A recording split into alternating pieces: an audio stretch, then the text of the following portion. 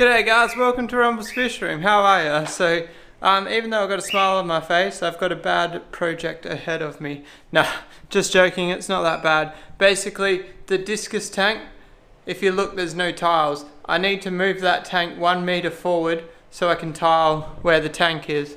Um, so I need to move that tank with the water. I don't want to put fresh water in there. And also the other thing is that tank's hard plumbed into the wall. So I've got a lot of plumbing to disconnect. It's on canister filters. I honestly don't think I'm going to connect, disconnect any of the filtration. I'm going to try and just like inch it forward a couple of inches at a time and like bring the tank with it. Um, just because uh, it's all hard plumbed and it's only a meter. It shouldn't be too bad. Sorry about the change in lighting, but anyway, let me show you what we've got to get up to before we even uh, start doing it.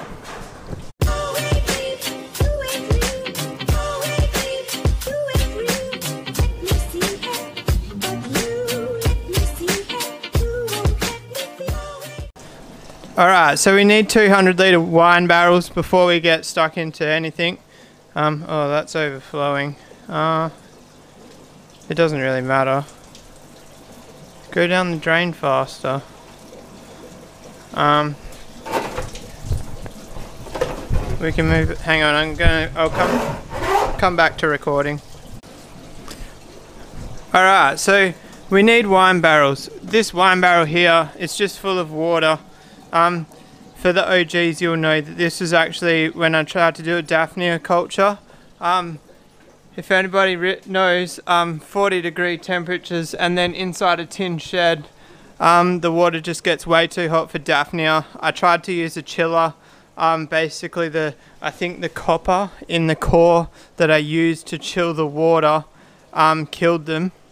Uh, oh, that was my that was like my third attempt. The first attempt, I tried just plumbing the chiller into the tank, and the Daphnia going through the chiller killed them. Um, so yeah, it was just it was an it was an ultimate fail. I tried to. These are my this is my air pump graveyard. I basically tried to engineer something that um, wasn't going to work, and it, it didn't work. It's like sometimes you win on these engineering ideas, sometimes you don't. But anyway, I'm going to drain this IBC. I've got to try and get it out of this little gap here. I don't know if it's possible. Um, yes, I did put that um, barrel in that position before I put these IBCs in. So whether it's actually going to fit through here, I'm not 100% sure, but there's only one way to find out. Alright, let's give it a go, see if it'll come out. You guys have got front row seats. Short answer, no.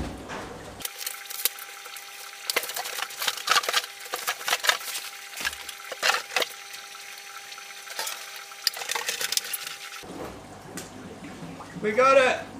Oh my god, guys. I literally had to take the water filter off. Let's have a look at it.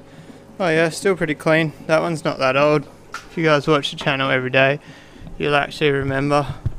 I made like a 25 minute video just on changing filters. It was a bit of a laugh really. Um, oh, but anyway, uh, I really want to upgrade these to the 20 inch filters, but that is not today's project. Alright, so now we've deleted that and I've made this abomination of a hose. I can probably like get it to sit under the... So, because this pipe used to sit in that barrel and then there was a drain running to that, that pipe there. That pipe there runs to my reticulation system. So, yeah, that's a MacGyver drain. Um, it actually goes like garden hose, garden hose to clear hose and then back to garden hose. So if I just had a piece of garden hose long enough, I could actually just swap that over. But unfortunately, that's not today's project. Man, these Dimicomps are growing fast, eh? I don't know if I've really shown them on the channel, maybe only the members. Oh, anyway, if you're not a member, um, these are my Dimicomps.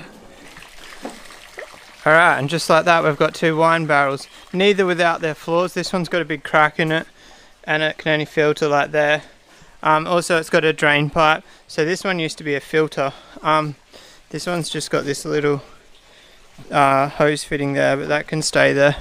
Um, I don't know whether to drain the tank with the pump or whether just to use gravity feed hose because um, I feel like if I use the pump I'm gonna suck up some fish because it's it's like a 15k pump. Um, and I don't have one in between so I might just use the hose. Alright so the draining of the tank begins. Um, I've turned it off obviously. Um,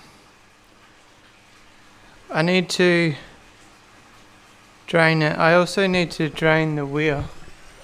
So the weir is oh the weir might actually have a leak at the bottom which would be advantageous in this situation. Um, my plan is to try and drain it and not take the plants and rocks out and hopefully I can move it. But you guys will come along with me for that ride and we'll see how heavy it is. Um, I'm going to take the CO2 bottle out because it's empty. So I'm just going to take everything out of here that isn't attached to the tank and then um, I've started clearing this area. Ah it's a it's a shambles guys. Has anybody tried to, to redo the floors in a fully furnished fully furnished house? We've got like parts of our lounge room in here parts of a bit of everything everywhere. Look I've even got like a bird standing in a doorway with no door attached to the door frame. Um, true building site. Monty won't be happy that he's in a bedroom. He's normally out in the uh, living quarters with us all. We could try and get all of that.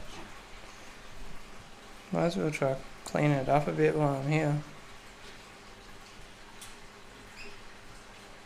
Man you kind of forget how deep this tank is until you try to use something like a siphon.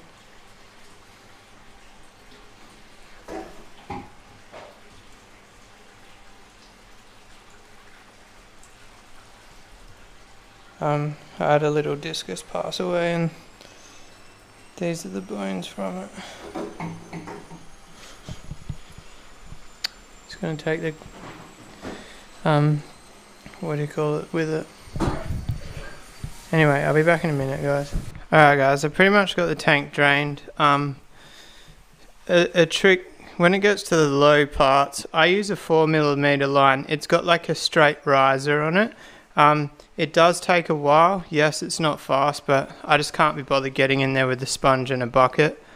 Um, I think I've accounted for every fish. The problem with planted tanks like a non-planted tank as the water gets low it gets easier to catch the fish a planted tank as the water gets lower it gets harder to catch the fish um, so I'm actually low-key thinking about pulling the substrate out when I go to move it back and um, gluing some siliconing in some glass dividers for the substrate so that way if I plant like the vallis at the back, it can't grow past the divider. But I, I don't know, I think it might just jump over the divider. So drop a comment if you think it's a good idea or a bad idea. Um, there's definitely a lot, there's a few plant gurus that watch my channel. I can hear someone flapping around. I think it's a Cory at this stage, there might be one or two Cory left. I probably should put the camera down and try and find it. Alright guys, it's been a couple of hours. I filled the tank back up. I'm not really sure where I left off to be honest. Um, so I've tiled where the tank lives. Um, obviously there's a pipe coming out of the wall so I'm going to have to drill a hole in the skirting. My idea is to drill a hole like the exact size of that hose in the skirting and then if I ever get rid of this tank I only have to patch like a 15 16 millimeter hole in the skirting rather than replacing the skirting. So that's my plan with that. I'd love to like chase the wall and move the PowerPoint behind it but it's just not really an option at the moment.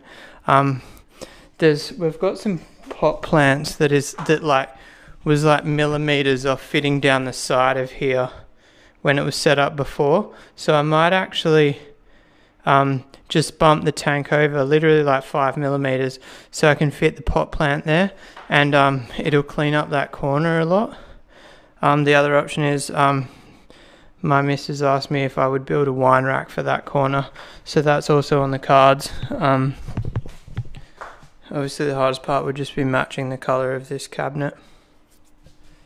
Anyway, guys, um, I'm going to wrap this one up there. I'm not sure if I'm going to upload this one today or tomorrow. So, um, Boxing Day. Sorry, guys, I didn't upload a video. Um, I had YouTube open. I had the upload ready to go. I'd even clicked the video, but I hadn't selected one of the criteria, which is like, is this made for kids? And I must have got sidetracked. And I woke up this morning, opened YouTube, and it was like do, and it was like in that upload screen. That's why there was a really early upload this morning. It was actually meant to be the day before, but I'm probably going to just upload this tomorrow because it doesn't hurt having one day off, does it? So Boxing Day was my day off, and I've already uploaded one today, so that means this is going to be tomorrow's video. But anyway, you guys don't need to know about all that jazz. You've already seen that there's a video missing. Um, if you like this video, but give it a thumbs up. If you want to subscribe for more, hit that little red button. And I'll see you guys tomorrow. Peace out.